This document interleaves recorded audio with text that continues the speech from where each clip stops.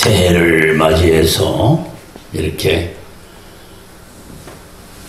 하나님 앞에 영광스러운 자랑스러운 감격스러운 이런 일들을 수행하면서 하나님께서 또 사랑하는 우리 총장님을 통해서 살아있는 메시지, 능력 있는 메시지, 우리에게 꿈이 있는 메시지, 주께로부터 받은 생명의 메시지, 이렇게 주셔서 또 한 번 새로운 활력소를 얻게 됐습니다.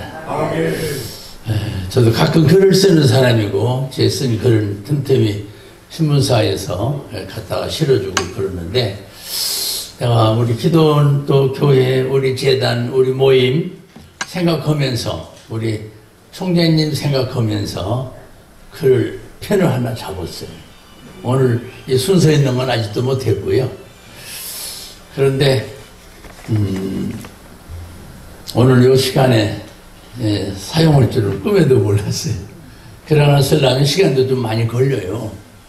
다듬어서 다 이렇게 탈핑해서 작품이 나오기까지는. 그런데 이상하게도 이 글은 그냥, 그냥 연필 잡고 그냥 쑥쑥 써가지고 쉽게 이렇게 글을 어떻게 그렇게 잘 되는 거예요, 그러니까.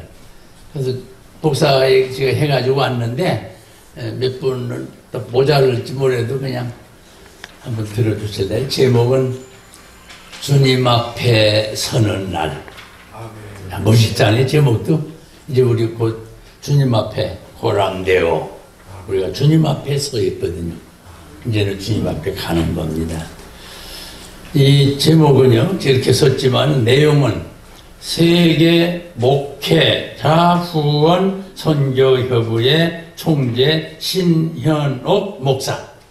요 이름을 넣어가지고 글을 쓴 겁니다. 예, 한번 보시면 보실 수 있을 거예요. 세상을 바라보니 크고도 참 넓구나. 계절의 변화 따라 참 좋은 귀한 솜씨. 목자의 목양의 길 잠시도 잊을 소냐.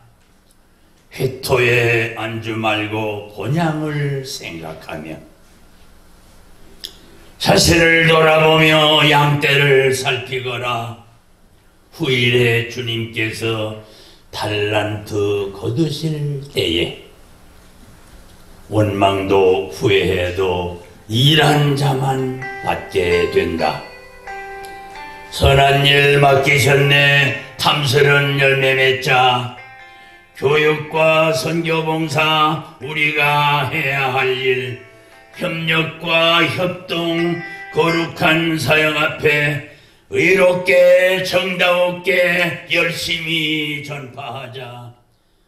회상록 펼쳐보며 새 일을 준비하자 총성이 뭐 문제가 오래전 일이건만 재앙이 밀려오니 오늘 또 나아가자 신실한 일꾼들을 일깨워 일감 주니 현숙한 여인이여 내 손을 주님께 들어라.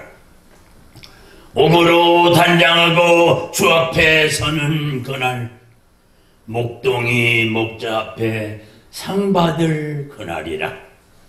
사랑의 딸이여라 눈물을 거두어라.